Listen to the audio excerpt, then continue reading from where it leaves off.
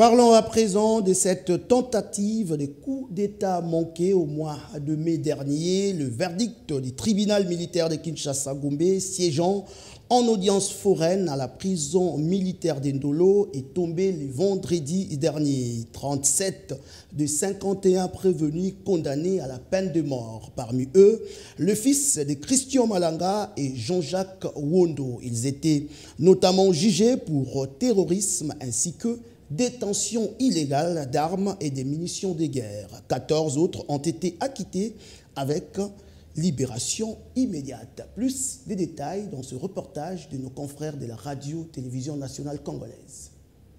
Et les plaidoiries, le tribunal militaire de garnison de Kinshasa-Gombe a, dans le délai légal, rendu son verdict. Bien motivé comme l'exige la loi, le président de Seyan, président du tribunal militaire de Kinshasa-Gombe, Eoume Ampiafredi a prononcé des condamnations pour 37 détenus sur les 51 et 14 acquittements.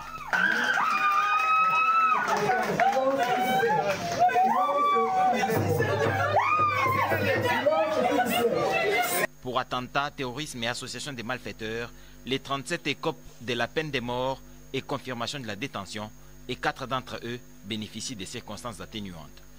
11 armes et 2 drones sont confisqués et la main levée a été ordonnée sur les véhicules saisis. Le tribunal, réagissant à la demande de dommages et intérêts des parties civiles, l'a dite recevable mais non fondée.